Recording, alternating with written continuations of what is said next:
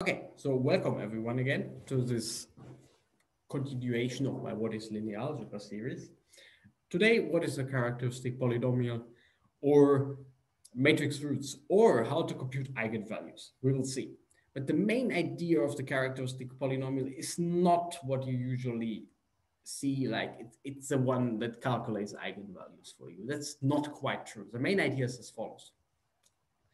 Whenever you have a polynomial, it's kind of today, nowadays, it's, it's kind of common knowledge that when you have a polynomial, you should look at its roots.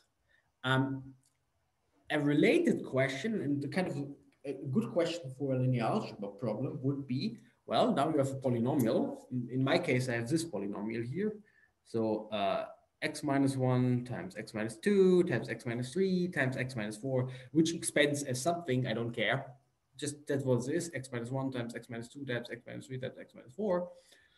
And well, usually would say you uh, substitute x by some number, but you don't need to. You can basically substitute x by anything, like a matrix. You can you can have um, matrix minus one, meaning my m here minus the corresponding identity matrix. This times four times four, which I usually just write as identity instead of identity four times four, and times whatever. Right?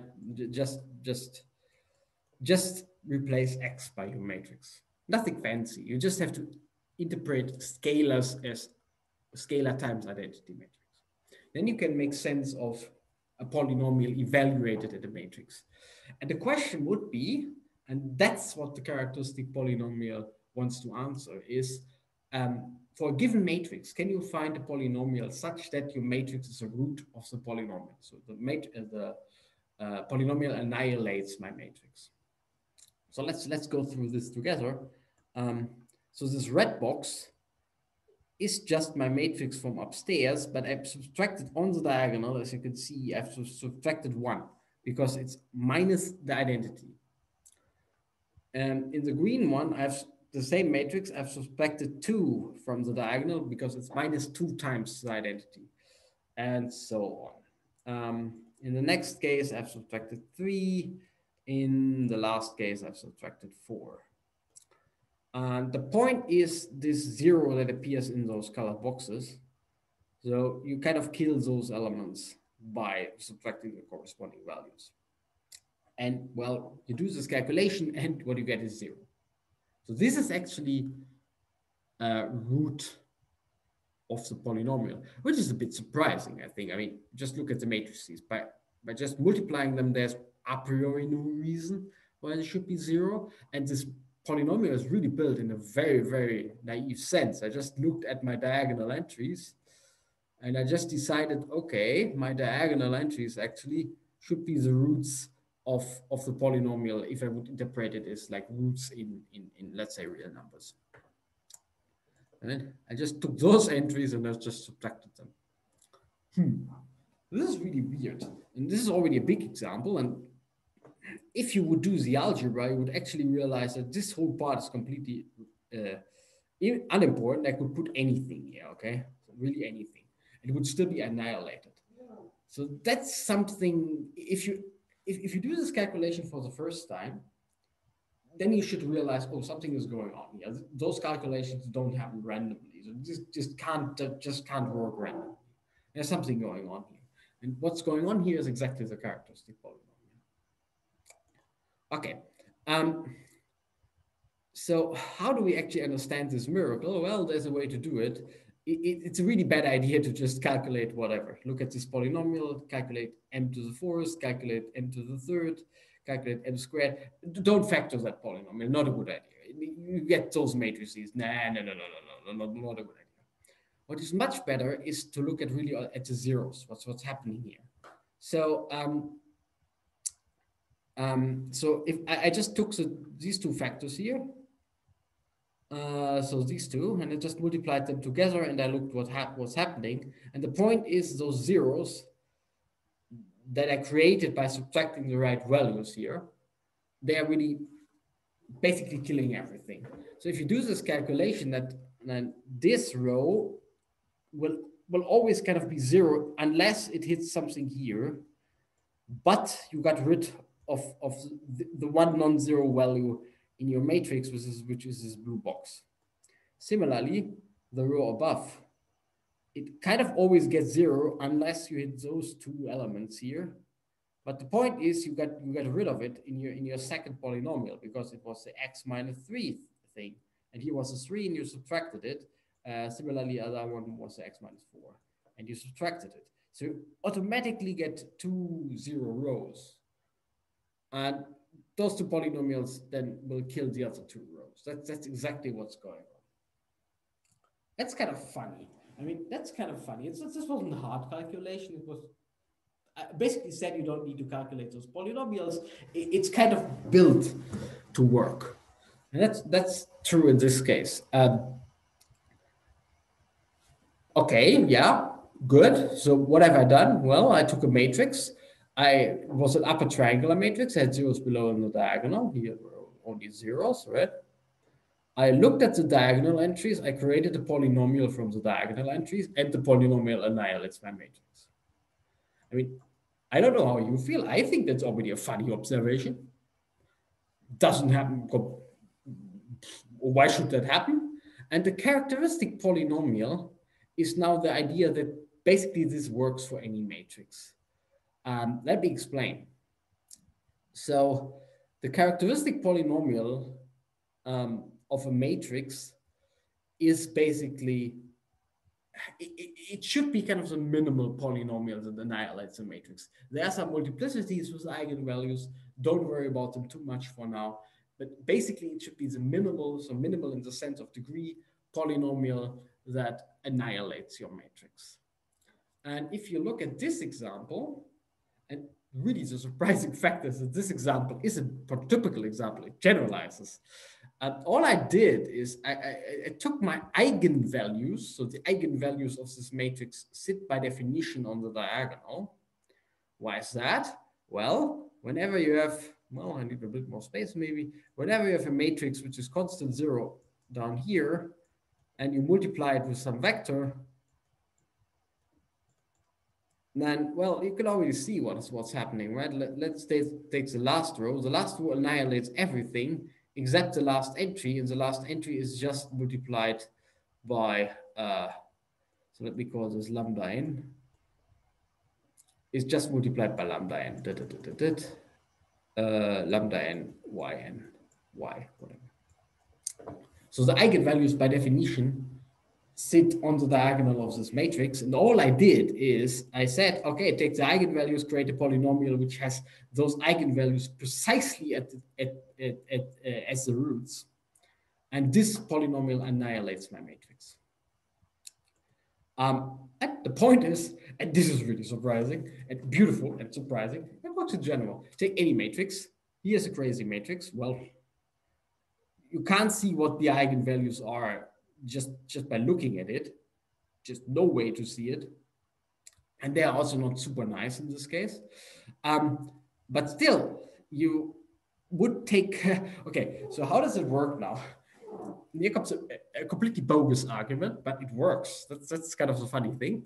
Um, okay so let's look at this expression. M v equals lambda v. So lambda is the one we are interested in. Well we can do it like this. Mv so m minus lambda identity times v equals zero. Okay. Um, so we kind of want to solve this equation, and this should hold for, for basically all v if you want. Um, so what you really want to solve is this equation, where I swap the sign because it, it's, it's a little bit nicer. So I can multiply this equation by minus one, and I would get exactly this one here. And let me just let me just call okay let, let me multiply this equation by minus one. So i would get lambda identity minus m times v should be zero. So i'm kind of looking for the kernel of this matrix here. And i just decide to call lambda a variable x. That's all i do. I just call it x. And i'm, I'm looking for the determinant of this matrix which is now a polynomial of degree n if M is an n, n cross n, uh, times n matrix. And this expression obviously annihilates m. Why? Well, the bogus calculation would be, okay, um, and this calculation actually works, which is fun. Which is fun. It's it's strictly speaking uh, not a proof, but it, it, works. So sometimes in mathematics there are just calculations that doesn't they do not make sense, and you have to think about it how to make them um, rigorous. But actually, they are correct in some sense, and this is one of those calculations. So Euler was an expert in doing this. He just did so many basically random calculations. All of them were great, and it, it took 200 years to make them rigorous it's not as bad here, but it's kind of an Euler type calculation. So P of M, so P is defined as this, is determinant of X identity, uh, sorry, of M identity, because I uh, substituted M by M minus M, this is of course zero. So yeah, this, this polynomial annihilates my matrix. And as I said, the characteristic polynomial should be the annihilating polynomial. So this is the characteristic polynomial. And the fun fact about this description is um, the characteristic polynomial, which I kind of defined beforehand, like take your eigenvalues and make them the roots of the characteristic polynomial. This is kind of an independent expression of, I don't need to know the eigenvalues to do this calculation. So all I need to do is to calculate this determinant and I get a polynomial and I need to find its roots instead of finding the eigenvalues. Um, here's an example. You would take, uh, well, x, so, why is the polynomial? Let's just do an example here. So if you take this matrix, all you do is, well, these are my blue entries and you put them with a minus sign just just leave them where they are, just put a minus sign, and on the diagonal, you put an x. And that's it, and you calculate the determinant, which in this case is just x minus 1 times x minus 3. Um, this would, should be a 3 minus 6. Uh, no, actually, and no, actually the 4 was correct. This should be a 4. uh, x minus 1 times x minus 4 minus 6. And finding the roots of this polynomial is equivalent to finding the eigenvalues of the matrix. Okay, I say it again. And this is, by the way, how people would define nowadays the characteristic polynomial. But actually, it, if you see just this definition, okay, why should this be interesting? The point is that a characteristic polynomial actually should be defined as the polynomial whose roots are the eigenvalues. And this is just an alternative description. And this is useful for calculations, but this is not telling, telling you anything. No, the characteristic polynomial by definition should be, basically it should be the, uh, the, the, the, the, the polynomial of degree n whose roots are the eigenvalues of. Um,